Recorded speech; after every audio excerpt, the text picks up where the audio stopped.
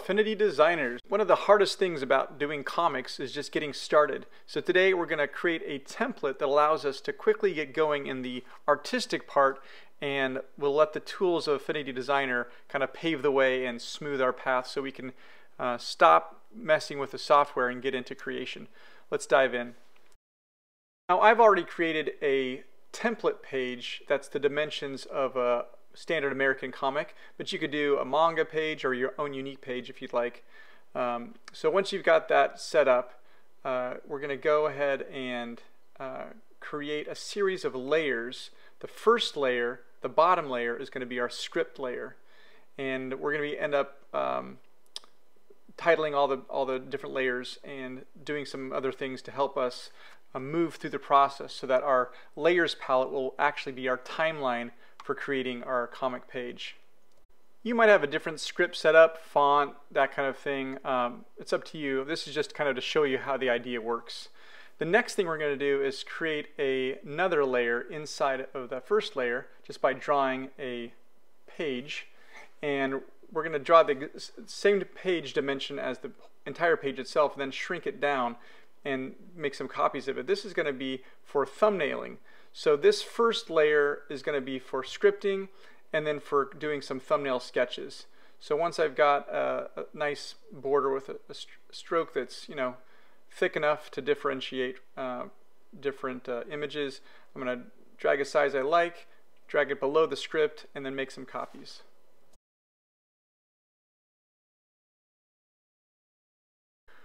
Once we've got these six thumbnail boxes, we're going to select them all and then using the geometry tools we're gonna, going to add them all together to make one uh, path and we're just going to name that thumbnails.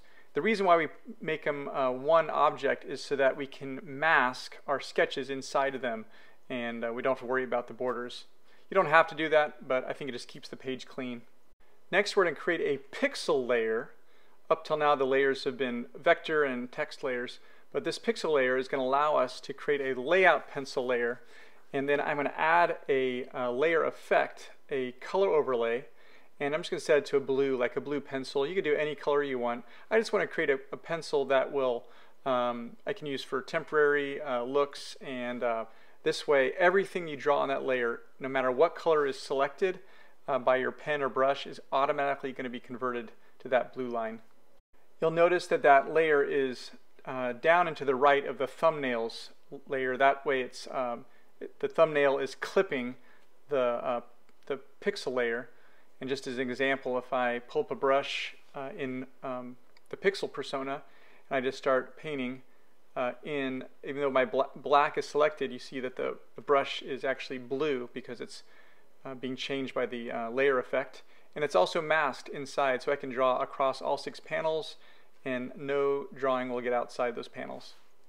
Okay, so that's our layout group. Now we're going to create a uh, pencil group, and that's going to be comprised of two pixel layers, one that has a red line um, color overlay, and one that has kind of like a dark gray. And what that will do is allow us to take our preferred layout, enlarge it to the full page, and then begin to pencil over it with the red line and the, the uh, black line to create some final pencils. Of course, you could skip this step and go right to inks if you really like to be loose or, or if your um, method of creation uh, just wants to be more organic with the inks. But um, if you want to create some tighter pencils, maybe you're doing it with a buddy or um, you, wanna, you, want, you just want to go through the process, this is what I suggest. So we're doing the same thing. We're creating another um, layer, a pixel layer. I'm calling it red line, and I'm setting the uh, color overlay to a reddish color.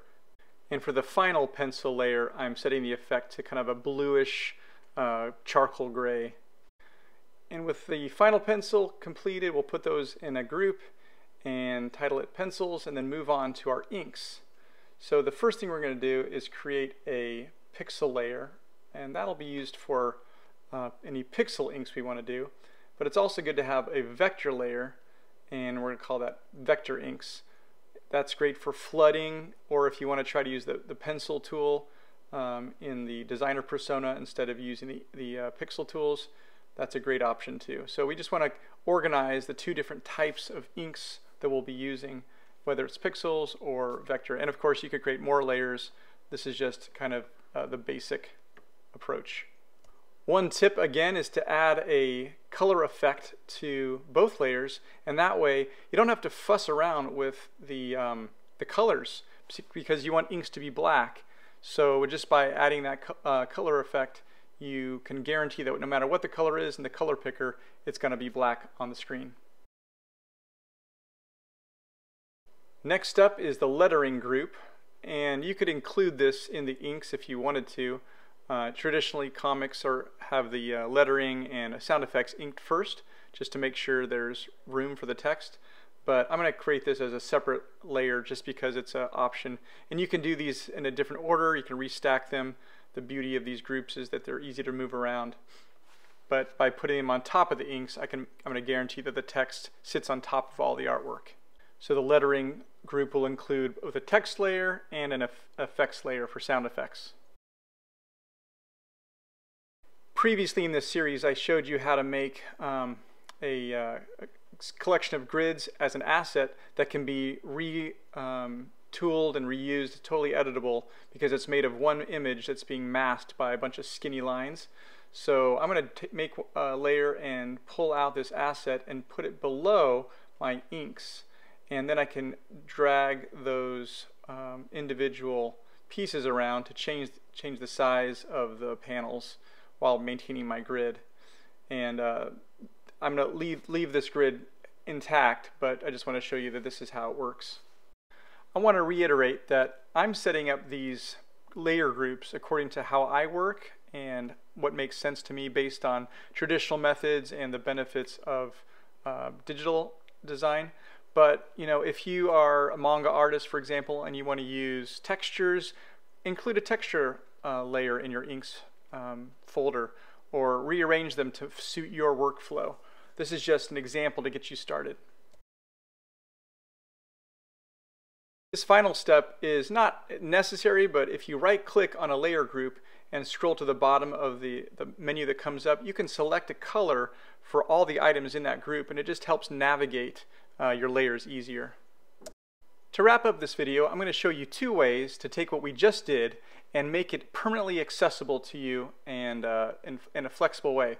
So the first way is to create a group out of all those layer groups, call it comic page for example, and then go to your assets panel, um, right click and um, add that whole group to your assets. Then you can just drag it out and realign it to your page and you have all those group layers back. If you don't want to mess with the assets folder, then the way to go is to create a template so that when you open up a new page, you're all ready to go to start creating. So the way to do that is to go to the File menu, select Export as Template, select a folder that you want to save the item to, and I'm going to call this 8-panel grid, save it there, and now uh, if I, I'm going to go to File and New, I select the Templates button on the left column, Add Folder, navigate to the folder I just saved that template to, and then select Choose. The template will automatically appear. Click on the template icon and then hit the button for Create, and there you have all your layers back for your use, ready to create. Thanks for watching. Give me a thumbs up if you learned something and consider subscribing to the channel. We'll catch you next time.